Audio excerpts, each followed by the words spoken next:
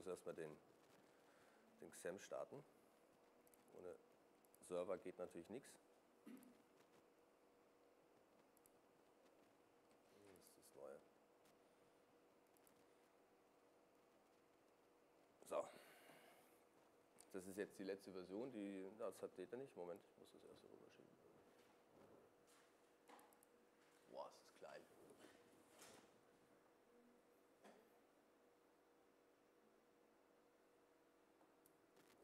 So, das ist jetzt die letzte Version. Gehe ich mal ins Backend. Wir haben das schon mal vorinstalliert.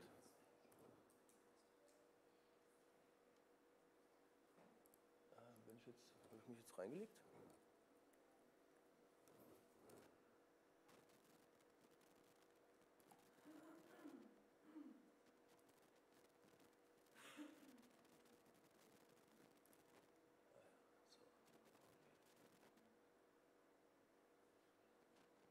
Also die Installation an sich ist ja, ich denke mal, die kennen ja die meisten Leute.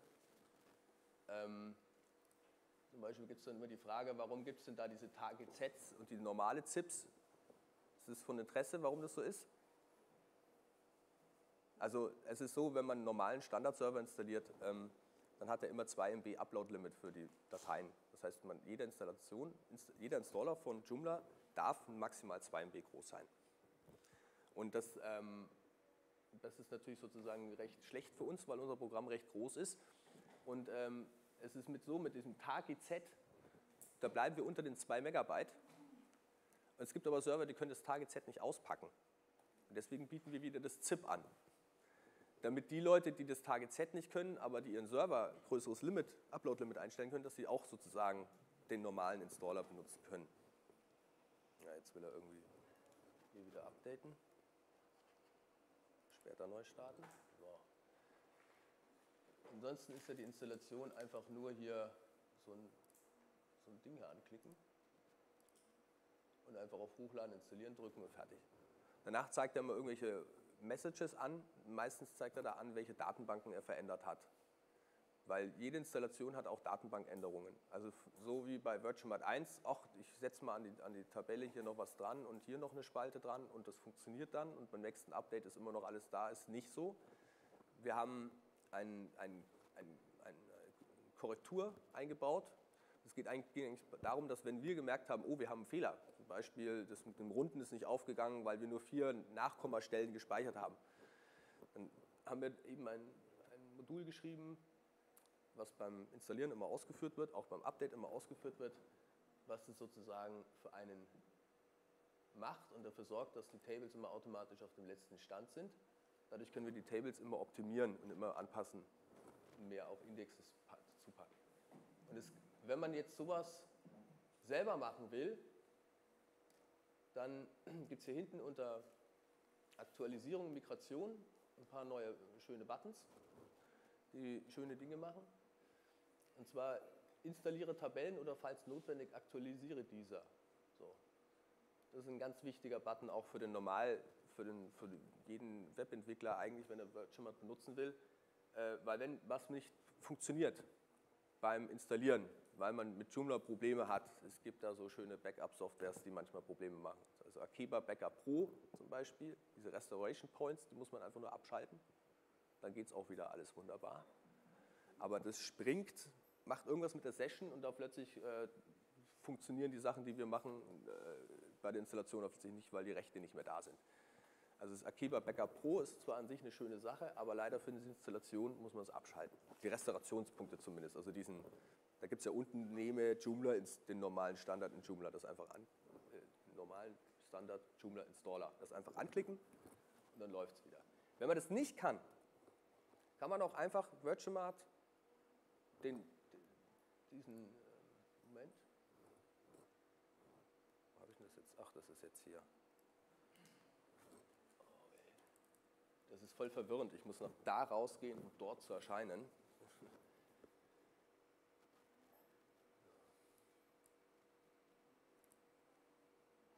So ein Installer, der ist eigentlich, der hat genau die, also die, genau die Struktur, die wir auch in Joomla haben. Das heißt, ah ja, jetzt habe ich das falsche Ding genommen. So. Das heißt, man hat den Administrator-Verzeichnis, ein Components-Verzeichnis, Install, Language-Verzeichnis. Man kann also einfach dieses Zeug hier einfach nehmen, hochschieben per FTP, auf, bei Joomla auf Discover gehen, dann findet er das Das kennt ihr ja unter Erweiterung des Discover in Joomla 2.5. Ne? Und danach drückt man auf ähm, Installiere Tabellen oder falls notwendig aktualisiere diese und dann macht er für einen alles. Also man kann, das ist jetzt sozusagen die manuelle Installation, falls man Probleme hat. Und das ist ja eigentlich sozusagen der Sinn des Workshops, weil die normale Clicky-Punch-Installation, die kennen wir ja alle, macht eigentlich selten Probleme. Hier haben wir jetzt noch eingestellt, dass wenn man das nutzen will, dass man hier das erstmal aktivieren muss. Es lag daran, dass viele Leute gesagt haben, ich kenne meine Kunden und wenn da irgendwas zum Knopfdrücken ist, dann drückt er drauf und da muss eine Warnung kommen und das muss ich dem auch verbieten können und so weiter. Deswegen haben wir das hier eingebaut. Dann gibt es jetzt hier noch einen neuen Button, Mini-Bilder zurücksetzen. Der ist relativ wichtig, wenn man einen alten Shop hat. Ähm, früher haben wir die Thumbnails immer in der Datenbank abgespeichert, den Pfad dorthin. Und dann war sozusagen ganz klar, okay, dann nimmt es immer von dort. Dann habe ich aus Sicherheitsgründen wegen diesem Multivendor, damit also jeder Joomla-User erlaubt ist, seine eigenen Bilder hochzuladen für seine Produkte, damit es auch immer schön sicher ist und der nicht also unser erster Mambo vor Jahren, als ich da mit Mambo angefangen habe, wurde gehackt durch eine Galerie. Da hat da jemand als statt ein Bild ein Skript hochgeladen und zwar ein paar Verzeichnisse weiter oben. Also habe ich mir überlegt, wie kann ich solche Sachen verhindern? Und deswegen wird das Verzeichnis jetzt immer erstellt. Das heißt, wir speichern bewusst den, den Pfad zum Thumbnail in der Datenbank nicht mehr ab, sondern der wird immer nach dem Standard erstellt. Und wenn man das aber von früher noch drin hat, dann ähm, ist soweit alles in Ordnung, kann man so lassen, braucht man sich nie mit befassen. Wenn du sagst von früher, meinst du eine alte Version? Von früher meine ich jetzt die Version 2018. nicht die 1, sondern schon die, die, wenn man jetzt mit dem neuen angefangen hat. Man kann das alles so lassen, man braucht sich damit sozusagen eigentlich gar nicht groß be beschäftigen. Macht er das jetzt?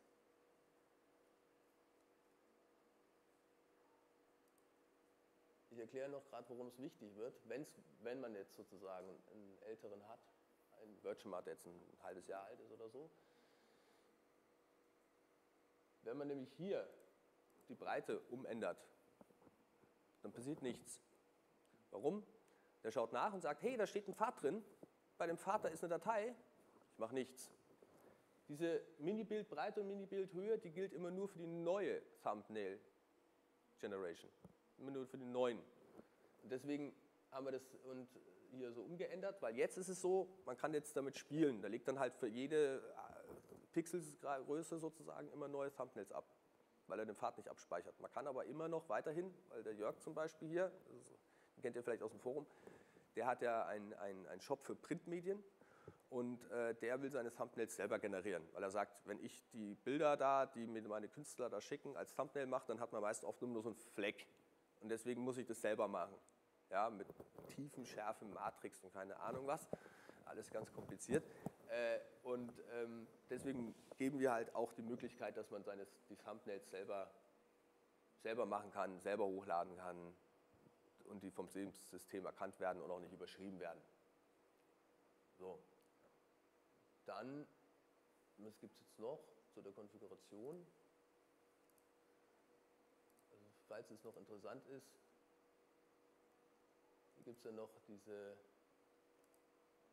das hier mit der Konfiguration, aber ich glaube, das ist für die meisten eher uninteressant. Damit kann man seine Konfiguration auf eine File schreiben und das holt er dann immer aus der Datei raus.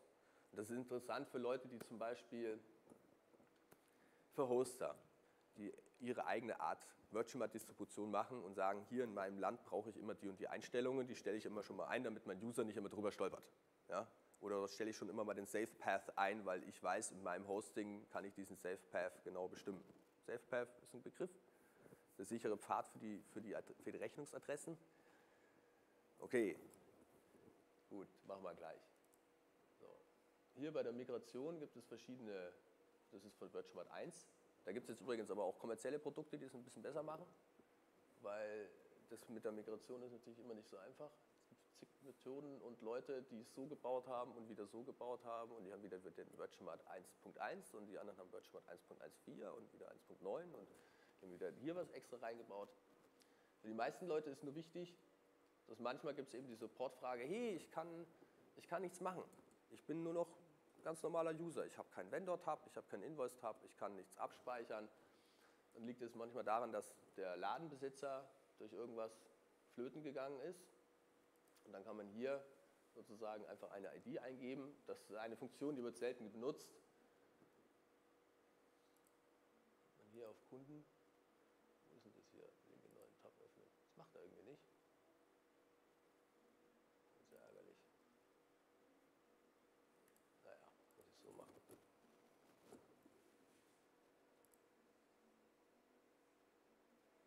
Ja, dieses Windows 8 hat, hat zum Beispiel die komische Angewohnheit, da alles dazu zu fügen.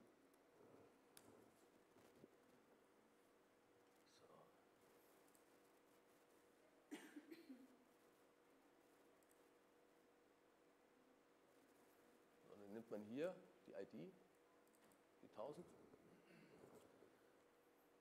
Man kann jetzt, wenn ich jetzt hier auf den Admin gehe, der ist jetzt auch der Verkäufer, dann sieht man hier gibt es Verkäufer, Rechnung, Zusatzinformationen. Genau dasselbe, wenn ich hier auf Shop klicke. Weil Shop einfach nur den Hauptverkäufer zeigt.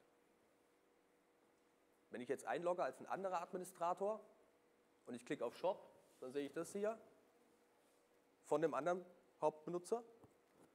Und wenn ich auf Benutzer gehe, dann sehe ich, ach hey, das ist ja nur der Hauptbenutzer. Und wenn da was, wenn da hier diese, diese Tabs fehlen, das passiert manchmal, wir wissen noch nicht genau warum, meistens sind es immer Leute mit komischen Hosting und komischen Sachen und äh, die sich im Forum verzweifelt melden. Also im deutschen Forum habe ich es ehrlich gesagt auch fast noch nie gehabt. Dann kann man jetzt sozusagen hier die 1000 eintragen, auf Ladenbesitzer einrichten drücken und dann geht wieder alles. So. Das sind eigentlich so die, die wichtigsten Sachen. Dann gibt es noch ein paar standardgrundlegende Sachen, die nicht so viel mit Virtual zu tun haben, sondern eher mit Joomla. Ähm, also was wir hier gemacht haben, dass wir uns hier Admin nennen, ja, nenne ich immer, das ist der der Noob-Fehler schlechthin. Ähm, es gibt einen Grund, warum das so ist, dass der angezeigte Name nicht der Login-Name ist. Der Login-Name ist das halbe Passwort und Admin ist das Standardpasswort sozusagen. Ja? Also das Erste, was ihr immer machen solltet, ist, ihr richtet einen neuen User ein, drückt, schaut unten auf die IP, auf die ID von dem, macht einen neuen Ladenbesitzer einrichten, richtet das alles auf einen neuen Besitzer ein und benutzt diesen, diesen Account Admin einfach am besten deaktivieren. Ja? Das ist ganz gefährlich, weil das ist echt eine Standardattacke. Und wenn man schon mal den Login-Namen nicht weiß, ja, wie gesagt, das ist die Hälfte des Passworts. Und das Schöne ist, einen Login-Namen kann man auch ganz einfach machen, ganz einfach gestalten und bringt trotzdem eine hohe Sicherheit. Also wenn ich jetzt sozusagen Max Milbers nehme, dann ist es immer noch sicherer als Admin, obwohl der sogar vielleicht weiß, dass ich Max Milbers heiße. Ja? Wenn ich, noch mal, so, wenn ich dann noch groß und klein schreibe und dann noch äh, Freizeichen drin habe, das ist dann sozusagen immer noch sicherer, als einfach Admin zu nehmen. Und auch bei den Passwörtern ist es so, immer wieder beim Support habe ich die Kunden, die haben ein fünfstelliges Passwort, ganz, ganz kompliziert. Ja, zwei Stunden gehackt. Ne? Das ist völlig egal, wie kompliziert das ist, es ist immer zwei Stunden gehackt. Das nützt also gar nichts. Äh, viel besser man nimmt, äh, meine, meine, meine Mama liebt mich, ja. Das ist viel sicherer. Es hat zwölf Buchstaben, bis man mal rausgefunden hat, dass es Passwort zwölf Buchstaben hat. sind schon zwei Jahre vergangen. Eine ganz andere Sicherheit. Ja. Also wichtig, langes Passwort, lieber einfach, lieber simpel zu merken, langes Passwort nehmen und nicht Admin nehmen. Das ist ganz wichtig. Und das gilt für alle, für jede Joomla-Anwendung. Das gilt für jede Computeranwendung sogar, ja. Das gilt auch für euer Linux, Mac oder Windows-Account. Dann gibt es noch eine Sache, das wird sich vermutlich bald ändern, aber das heißt bald in einem halben Jahr. Ähm, aber momentan ist es immer sehr wichtig, die Leute haben hier immer Standard eine Session-Zeit von 15 Minuten eingestellt. So, da gibt es Cross-Site-Scripting, je länger die Session-Zeit ist, desto einfacher kann man Cross-Site-Scripting machen. Stimmt, richtig. Trotzdem 15 Minuten ist ein bisschen knapp. Man stellt sich das so vor, da schmeißt jemand was ins Kart rein und ruft dann an und sagt, hey, ne, beim Ehepartner von dem Beschenkten sagt, ist es auch das richtige Geschenk für bla bla bla. Ne? schwätzt man so und dann sagt man, ja, ja, ist das richtige Geschenk, drückt man kaufen und sagt Card weg. Ausgelockt. Session Time over. Das ist furchtbar nervig, also gerade im Shop, ja. Deswegen sollte man da schon ein bisschen mehr geben. Ja, also ich sage immer so 60 Minuten ist eigentlich äh, ganz gut. Wer, wer, sich mut, wer mutig ist, kann auch zwei Stunden eintragen. Ja? Also, aber mehr als zwei Stunden muss dann auch nicht sein. Aber ein Telefonat dazwischen sollte schon Platz haben und nicht alles aus dem Warenkorb sein. Weil der Warenkorb wird in der Session gespeichert und wenn die Sessionzeit eben so kurz ist, ist er natürlich weg. Kann man nicht ändern. So. Dann hier sind die Leute mal ganz versessen mit ihrem Cache und vergessen immer, dass ein Markt ja nicht statisch ist. Also wenn einer einen Katalog nutzt, also die Griechen, die nutzen Virtual ganz viel als Katalog, zum, da ruft man dann an per Telefon und bestellt, das ist echt witzig. Äh, die können statische Seiten benutzen, weil da ist immer alles gleich. Ja? Aber der Witz ist ja eigentlich an Virtual 2, dass er eben in verschiedenen Currencies das einem anzeigen lassen kann, in verschiedenen Sprachen anzeigen lassen kann und dass man auch so Sachen hat wie, das ist ein guter Kunde, der kommt jetzt schon zum zehnten Mal, dem habe ich jetzt äh, eine gute, äh, also in eine Gruppe reingesteckt, wo er immer auf alles 5% äh, na, Preisnachlass bekommt. Und ähm, der Content ist also dynamisch. Dann sagen die Leute, ja, gibt es doch den coolen erweiterten Cache. Der ist doch pro Person. Der, der Cache pro Person ist für fast alle Seiten nutzlos, weil jede Seite erstmal langsam ist, weil sie ja dann gecached wird. Und nur beim zweiten Aufruf ist es schnell. Und wie oft ruft denn ein User zweimal die gleiche Seite auf? In einem Markt, wo er durch die Produkte browst. Die einzige Seite, die er öfters aufruft, ist die Hauptseite, das Card. Alle anderen Seiten werden dadurch langsamer. Und deswegen sagen wir, lasst die Caches weg. Die machen nur Ärger. Was genau noch witzig ist, wenn man den normalen Cache aktiviert ist, dann kann es passieren, dass ein User auf ein Card geht und sieht das Card vom, also auf den Warenkorb geht und sieht den Warenkorb vom anderen Nutzer. Klar, weil es gecached ist. Und das, das Caching vom Joomla eben beim normalen Cachen nicht guckt, welcher User ist das.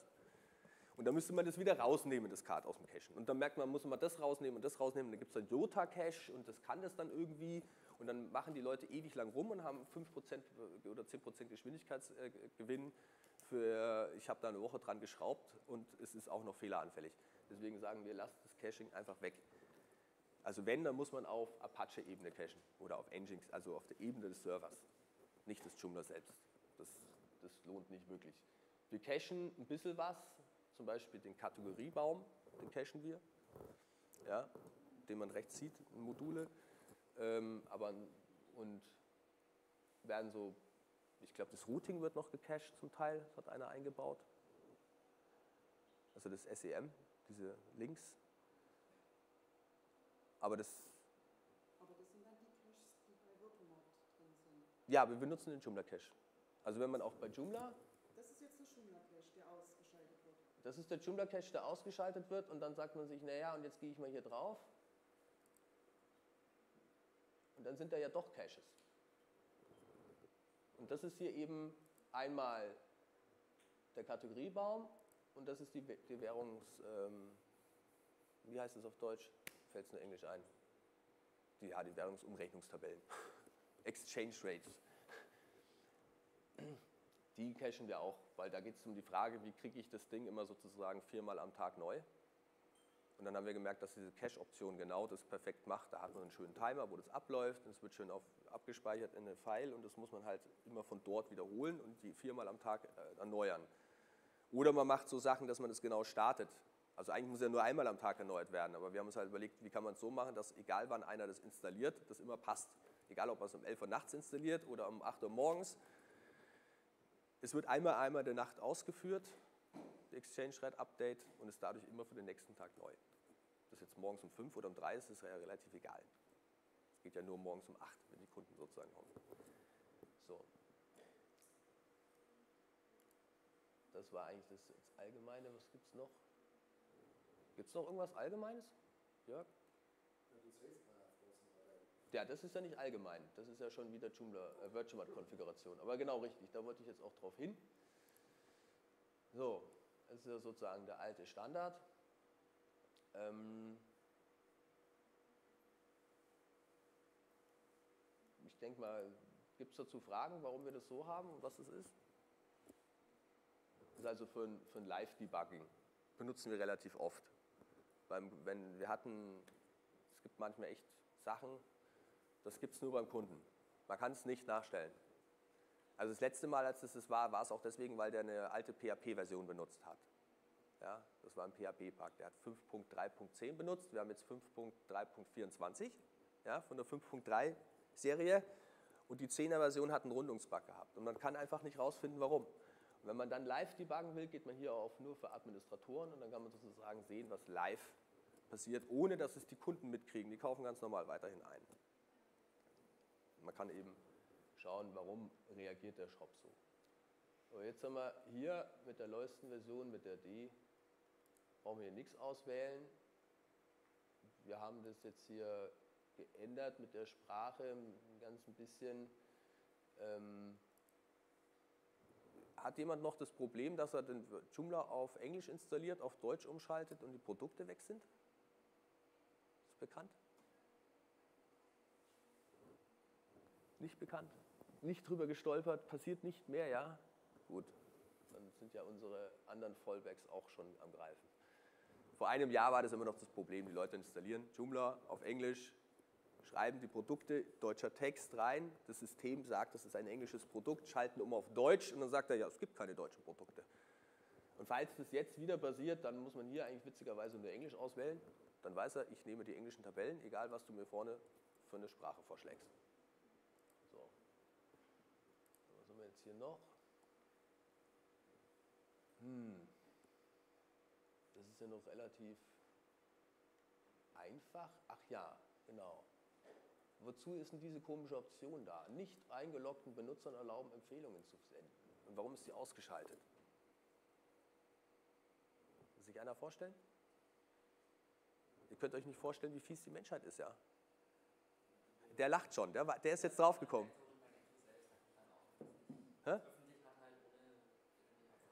Die Leute haben einen, haben gesagt, ich, ich missbrauche diese Request to a Friend, äh, Recommend to a Friend. Also äh, ich empfehle dieses Produkt zu einem Freund und ich schreibe dort mein Produkt rein. Und du als Administrator wunderst dich, warum komme ich auf einmal so komische E-Mails? Ja? Da werden immer für andere Produkte geworben von meinem Shop. Verstehe ich überhaupt nicht. Das heißt, die haben diese Funktion benutzt zum Spam verschleudern. Und dann mussten wir das einbauen, dass man es abschalten kann. Schönes Feature, denkt sich jeder, ist doch klasse. Ich will doch nicht immer jeden gleich zwingen, sich bei mir einzuloggen, nur wenn er ein Produkt weiterempfehlen will. Sagt sich jeder, ja, ist klar. Aber dass das dann zum Spammen missbraucht wird, ja, da muss man auch mehr dahinter kommen. So, das haben sie natürlich schön gemacht. Und deswegen kann man das hier abschalten. Beziehungsweise hier anschalten. Und diese, dieses Abschalten, das gilt für das, eine, eine Frage zum Produkt stellen, das ist nämlich genau dieselbe Tour, können Sie auch machen.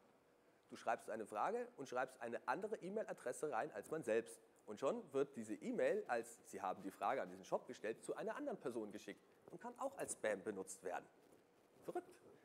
Deswegen mussten wir diese Option drin haben und das ist jetzt leider so ein bisschen so, das ist so ein typisches Ding, da fällt man drauf rein. Ähm, das gilt natürlich auf Preis auf Anfrage anzeigen auch. Das ist die Funktion, dass wenn man keinen Preis eingibt, dass man dann hinschreibt, hier, ich will, wenn eurem Produkt interessiert, macht mir ein Angebot. Das gibt es auch sehr oft, dass die Leute das gar nicht wollen, die wollen gar keinen Preis hinschreiben, weil die sagen sich immer, ich gucke mir erstmal einen Kunden an, ob ich für den was Günstiges mache für einen Tausender oder ob das ein richtiger Kunde ist und dann mache ich es für 5000. Also das gibt's. Deswegen haben wir das. So. Das ist sozusagen der Grund, warum es deaktiviert ist. Ich empfehle ja persönlich, wenn man seinen Shop selber bewacht, lass es an, schaust auf deine E-Mails, wenn es einer missbraucht, schaltest es ab. Wartest du vier Wochen, kannst du wieder anschalten, kannst du wieder zwei Monate warten, missbrauchst wieder einer, schaltest es wieder ab. Und dann müssten wir halt mal gucken, sozusagen, wie viele Leute das von einer eigenen Kundschaft tatsächlich nutzen. Ne? Weil jeder hat, also jeder Shop hat andere Leute. Es gibt Leute, die benutzen sowas gerne, es gibt Leute, die sagen, was ist denn das für ein Mist? Ich will Facebook und nichts anderes. Je kein Facebook-Connection. Ja? Das ist zum Beispiel auch so ein Ding. Also äh, wir, haben, wir haben das selber nicht geschrieben, sondern die Leute haben für VirtualMart äh, diese Facebook-Konnektoren geschrieben. Also einfach was installierst, ein Plugin über Joomla und dann machst du den, äh, den Content, ich glaube das Plugin, den Content-Plugins für VirtualMart Products aktivieren und dann man, hat man plötzlich diesen Like-Button für jedes Produkt und wenn man auf Like drückt, dann weiß auch genau dann Facebook, was für ein Produkt man bewirbt und so weiter. Das geht mit jeder Standalone-Software an sich auch. Prinzipiell, natürlich. Aber es ist so, wenn man die halt vor einem Jahr gekauft hat oder vor zwei Jahren und da war das noch nicht modern und das ist nicht drinnen, dann muss man warten auf diese Firma in der Regel, bis die was hier geliefert hat.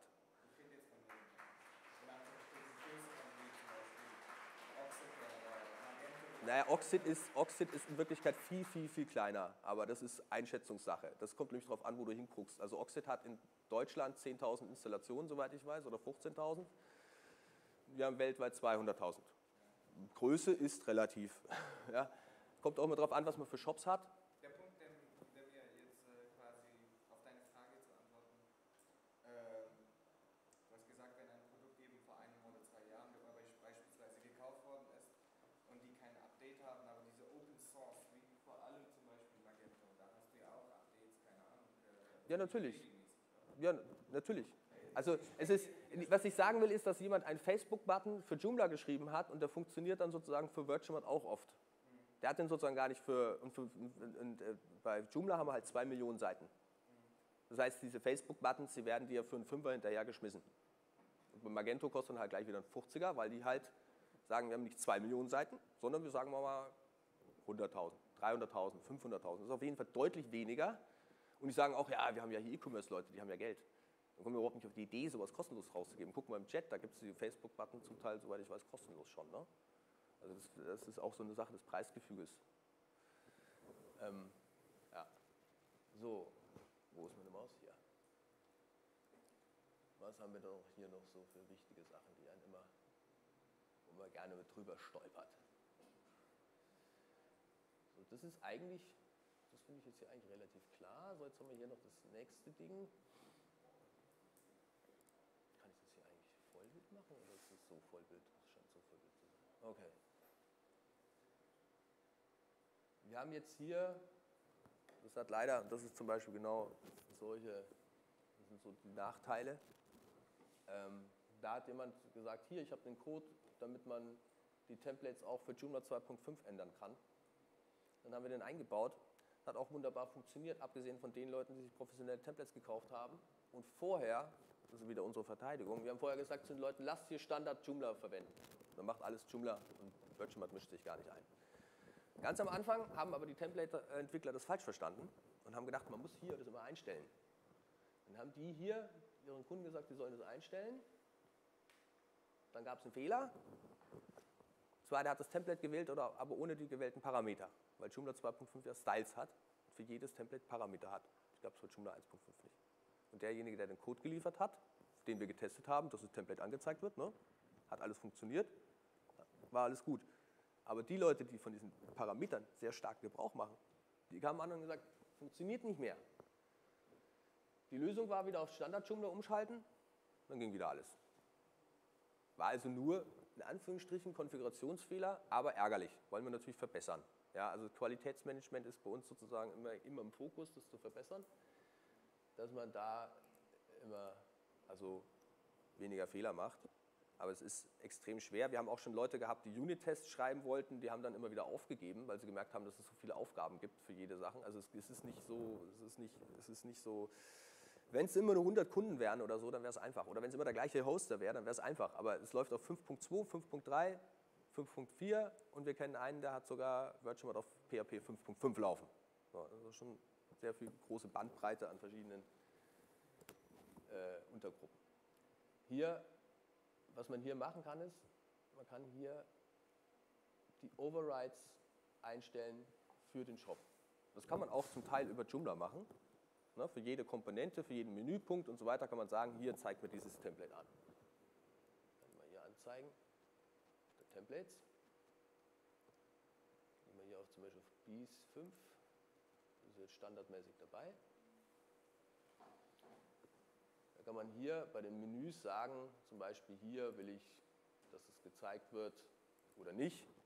Ja? Normalerweise hat man jetzt hier nicht nur eine Sache. Moment, das ist dieses Ding hier oben. Wenn ich hier draufklicke, habe ich sozusagen das. Man merkt aber, Moment, wo war ich? Hier. Merkt aber, hier kann man nicht nach Kategorien oder irgendwas einstellen. Das geht nicht. Ja? Also, was ich sage, ich habe eine Winterkategorie, da zeige ich ein anderes Template als in der Sommerkategorie geht nicht. Man sieht, man hat hier einen Punkt von Joomla. Man könnte jetzt hier noch mehrere Module hinpacken und so, und dann hätte man mehrere Punkte von Joomla, aber irgendwie wäre man immer in dieser Joomla-Welt und Joomla kennt keine Produktkategorien, kennt Artikelkategorien, aber keine Produktkategorien. Daher brauchten wir das im Virtuamat selbst. Was haben wir hier? Wir haben hier zuerst mal das Überschreiben für alle Kategorien.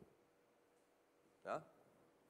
Kann ich sagen, okay, wir machen hier, machen wir mal bis 2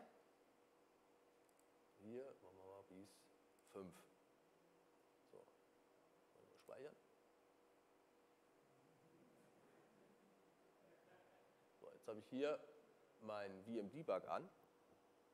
Diese Debug-Ausgabe, die ich vorher angeschaltet habe, äh, erklärt habe. Das ist halt sehr günstig für Templators. Da komme ich später noch dazu. Ich mache es jetzt erstmal einfach aus, weil es sonst erstmal nur verwirrt.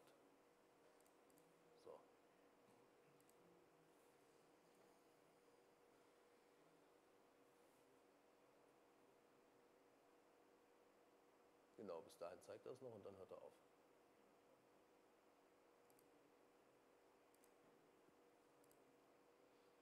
Jetzt haben wir hier den, unseren Grundshop. Einfach das normale Joomla-Template. Wenn ich jetzt hier draufklicke, dann ändert sich das Template. Ja, weil ich es gerade eingestellt habe. Gesagt, alle Templates, alle Kategorien bitte in dem Bees anzeigen. Jetzt ist es so, dass man das natürlich ganz oft äh, wieder sagt, naja, das ist ja schön, dass man das so schön allgemein einstellen kann, aber da bei dem Temp, da bei dem Produkt will ich es aber wieder anders haben. Ja, und dem haben wir natürlich Rechnung getragen. Man hat erstmal hier in der VM-Config, also wenn ich im Forum oder so schreibe, dann nenne ich das immer die Virtuamat-Config, die VM-Config, kann man hier einstellen, was man für ein Kategorie-Template haben will.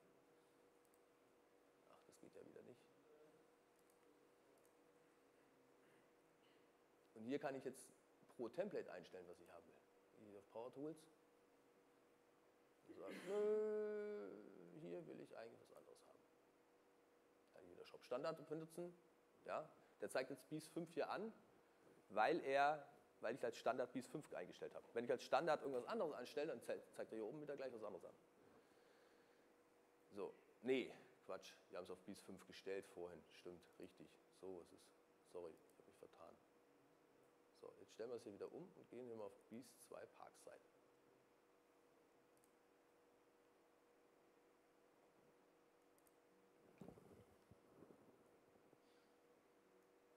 Gehen wir hier auf Handtools.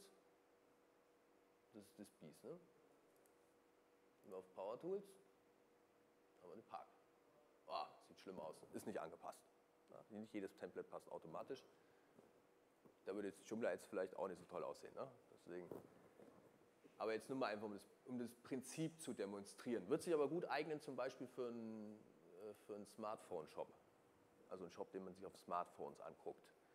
Habe ich vor kurzem jemand gehabt. Das ist zum Beispiel ein ganz typischer Vorteil von Virtuamat übrigens. Ja, Im Vergleich jetzt zum Beispiel zu Magento, gerade jetzt vom Kostenfaktor.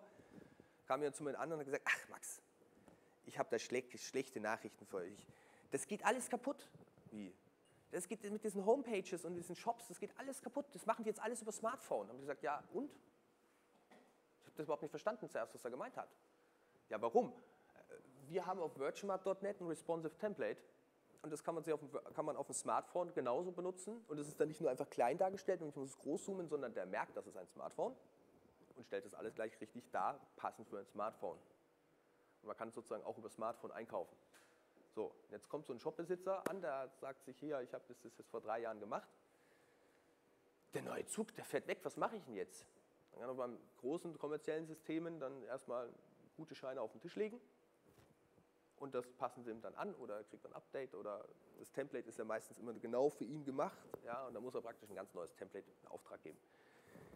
Bei Virtuamat zum Beispiel kauft man sich ein Template für 100 Euro von USEAM zum Beispiel, das Infinity Template passt es sich an und fertig.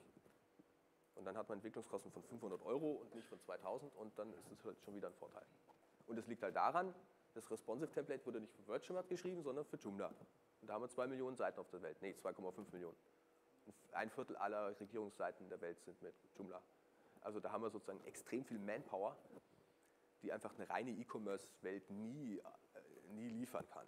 Das ist einfach so viel mehr Leute dahinter sind, die so viel andere Sachen drüber machen, dass es dann sozusagen erst richtig interessant wird. 1046. So. Also man kann es hier auch überschreiben. Dann haben wir hier nochmal die Kategorieübersicht Layout, Standard Produkt Details Seite Layout. Da fallen manchmal die Leute so ein bisschen drüber. Ähm, das eine ist einfach der View von hier. Das hier. das, was so grottenfurchtbar aussieht. Schalten wir mal ab. Machen wir mal Atomic. Ein bisschen netter aus.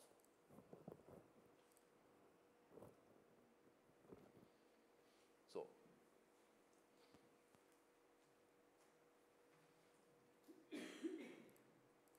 So, dieser View hier, Standard Produkt Details Seite. Das ist, wenn ich jetzt hier auf Circular Sir klicke und mir die Circular, also die Kreissäge anschaue, ja? Dieses, dieses Stück hier. Ah, so. Bis dahin. Das kann ich damit beeinflussen. Und das kann ich sozusagen wieder überschreiben. Also im, im, im krassesten Fall bei der Produktdetails-Seite, die legt man erstmal in der Virtual-Config fest. Dann kann man, also, ne, dann kann man sie für alle, für alle Produkte innerhalb dieser Kategorie überschreiben. Und dann kann man noch beim Produkt selber draufklicken und sagen, nee, aber bei dem Produkt, das ist ganz fies, das hat äh, so ein großes Bild und so und das passt da nicht und ein kleines Bild kann ich nicht nehmen, sonst kommt es nicht raus und ich will das aber so haben, ja, und dann längert der Kunde rum und sagt, ich muss aber und ich will, ja, und dann sagt man, okay, okay, okay, ich mache für dich ein extra Override, genau an der Stelle. Man also hier, also Smaller Showbill, wenn man da draufklickt, kann man hier Produktseite das nochmal überschreiben. So. Dann ist natürlich die große Rätsel, was, was listet denn der hier auf? Default, Notify, PDF. Ja, und, äh, wo war das? Da, gehen wir mal hin. Der Rechner läuft ja jetzt auch.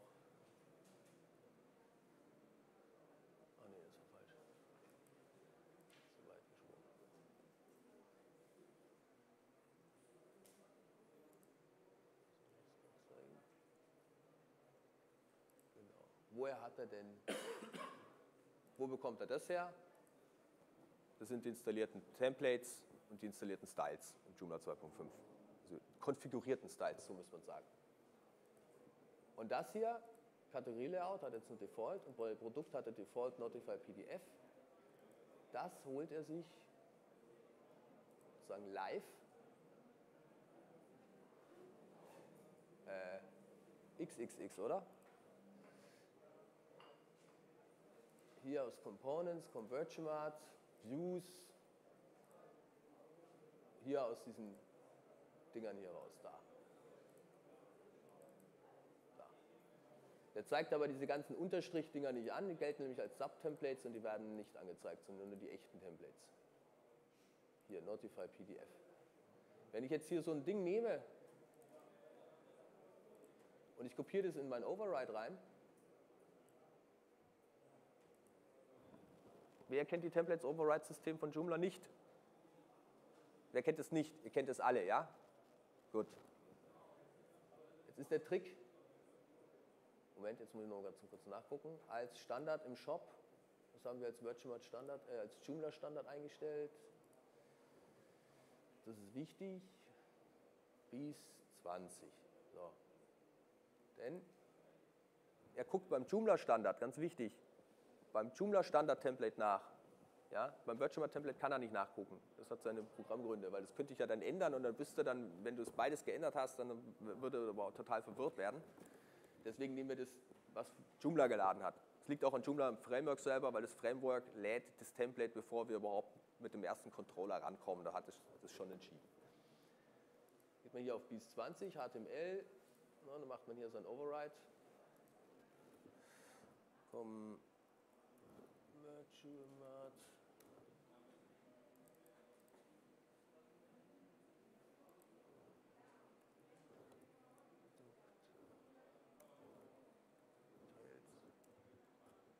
Ich hoffe, ich habe mich jetzt nicht vertan.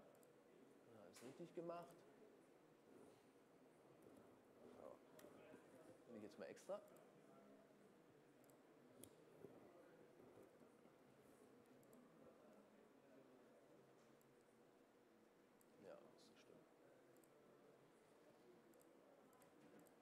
So, jetzt habe ich hier schon extra. Ich muss es also nicht in den Chor reinpacken, wenn ich irgendwas Neues erfinde, sondern ich kann es gleich da unten rein tun. Gibt, ich versuche jetzt auch gerade die professionellen, kommerziellen Template-Entwickler so ein bisschen umzuerziehen, in Anführungsstrichen. Also ich schreibe sie nett an und sage ihnen, hey, ich habe da eigentlich folgende Idee, da können wir uns ein bisschen Ärger sparen. Die überschreiben immer gerne das Default. Ich sage zu denen, mach doch einfach neue Templates. Und nicht immer das Default überschreiben. Wenn es ein Problem gibt, können die Leute immer auf die, auf die Standardlösung erstmal zurückfallen. Und äh, wenn nicht, dann können sie eure neuen Sachen ausprobieren. Und dann haben wir sozusagen, geben wir unseren Benutzern mehr Wahlmöglichkeiten. Also das ist eines unserer, unserer wichtigsten Sachen, das ist die Wahlmöglichkeit und die Freiheit. Dass man, es gibt auch kommerzielle Systeme, die schreiben den Code bewusst so, also das kommt auch immer wieder bei uns, dass Leute das versuchen zu implementieren, dass sie sozusagen Code implementieren, der ist so, dass ich sage, der ist einmal um die Ecke gedacht, bewusst, dass mit jeder, der nicht die Ecke kennt, völlig Schiffbruch erleidet. Das machen wir nicht. Versuchen wir zumindest, ja. Das also so straight, klar wie möglich zu schreiben, dass man als Programmierer, entweder gerade Student oder so, oder äh, der, jemand, der seit 10, 15 Jahren dabei ist, ah ja, kenne ich, mh, alles klar, der hat das Pattern benutzt, das Entwurfsmuster, das ist bekannt, ich finde mich hier schnell zurecht. Das ist auch uns wichtig, damit eben äh, viele Leute mitmachen, weil äh, Virtuemart ist nicht ein ein Projekt von einer Firma eigentlich oder auch nicht mein Projekt, sondern es ist unser Projekt, wo viele Leute mit gleichzeitig dran arbeiten. Also in dem Virtual 2 haben ungefähr, ja, kommt darauf an, wie man berechnet, bis zu 100 Leute mit dran geschrieben. So, jetzt ist die Frage,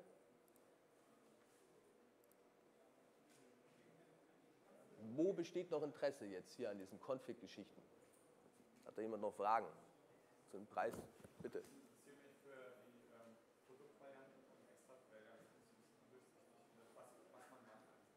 Alles klar, gut. Der Katalogmodus sozusagen.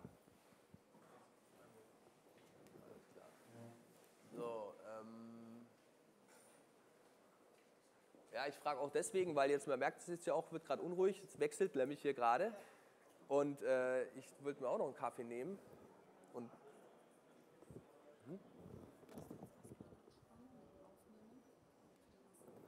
Dann mache ich mal eine Pause, ja. Was muss ich drücken?